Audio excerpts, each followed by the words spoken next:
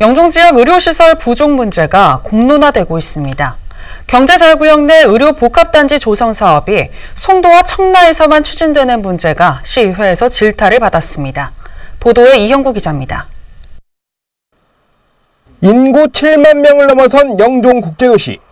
인천 국제공항이 위치한 영종은 송도, 청라와 함께 인천 경제자유구역의 중요한 축입니다. 하지만 통행료 폭탄부터 기반시설 부족까지 주민 불편은 한두 가지가 아닙니다.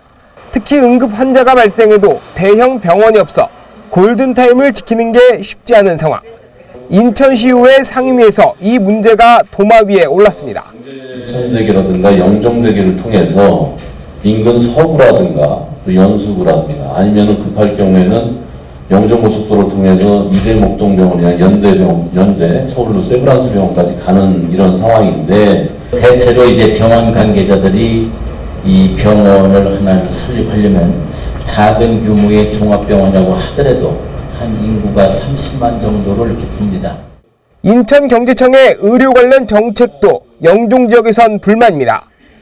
인천경제청이 시의회에 제출한 업무 보고를 보면 현재 추진 중인 의료 복합단지는 송도에 두 곳, 그리고 청라에 한 곳입니다. 공항의 비상 상황 대처와 이곳에 상주하는 근로자 등을 감안할 때 영종에도 대형 병원이 필요한데 배제됐다는 지적입니다.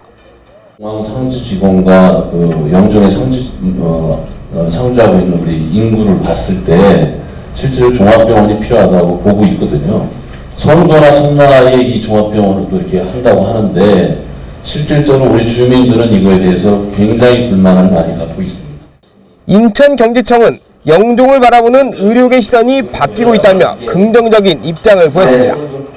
투자처에서는 상당히 좀 근접을 해온 경우도 있습니다. 그래서 요 앞으로 이제 경제자격증은 어, 영종의 그 국제병원이 아니 종합병원이 좀 들어올 수 있도록 최대한 좀 노력을 해나가겠다 그런 말씀 좀 드리겠습니다.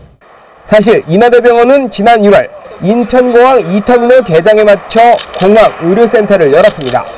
14개 병상을 갖춘 센터엔 전문 의료진이 상주하며 외래 진료를 받고 있습니다.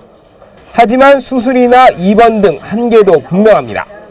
홍인성 중구청장이 응급실을 보유한 종합병원 유치를 공약한 이유도 이 때문입니다. 티브로드 뉴스 이영구입니다.